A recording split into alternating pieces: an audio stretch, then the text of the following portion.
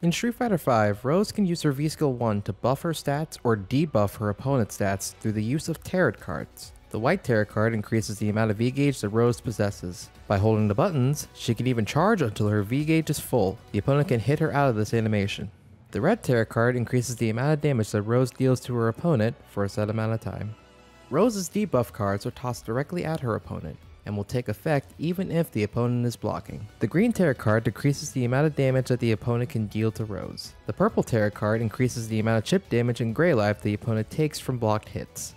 Each of these cards gives Rose unique offensive and defensive potential in battle. What kind of misfortune will you bring your foes? Let me know in the comment section and be sure to like this video for more tips like this.